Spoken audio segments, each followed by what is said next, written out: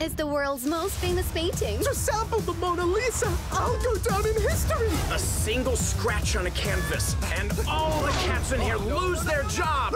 What do you think you're doing? Cats in the museum.